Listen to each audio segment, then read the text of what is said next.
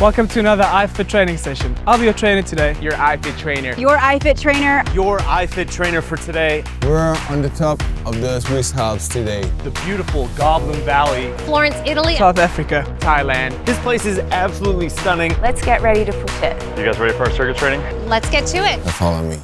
Let's do this. Here we go. Three, two, let's crush it. Come on. Last round, best round. We don't have to do it again after this team. I want you to stay with me. I want you to push. I want you to jump higher, jump further this time. We only have 10 more seconds. One, two, three, four, and five. Bicycles go. Alternating elbow to knee. Keep your shoulder blades off the ground. Engage that core. Working those abs.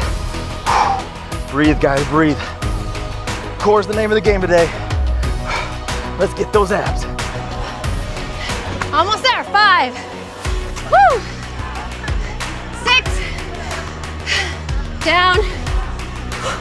Seven. Squeeze it in. Last one. And eight. Nicely done. Let's get into it. Grab your weights. Nice athletic stance. Elbows close to your body. And we're squeezing up that first bicep curl. Good.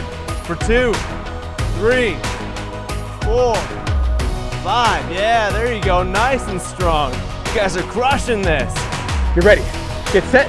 Let's go. Step it out. Push it right back. Step it out. Push it back. So notice when I step out, I'm getting about double hips width. So not too wide, but not too close either. I'm keeping my opposite leg straight. It'll be your left leg in this situation. Both feet stay straight. And you gotta power yourself back to the top. This weight uh, wants to hold you down.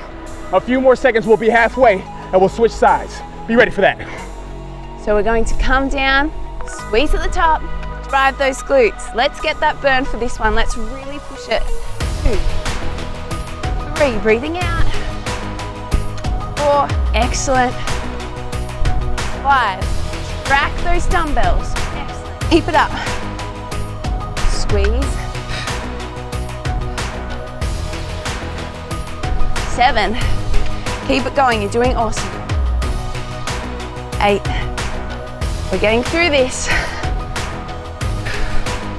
Nine, last one. Nice squeeze and relax. You did an amazing job. Thanks for joining me in beautiful Florence, Italy. I'll see you next time.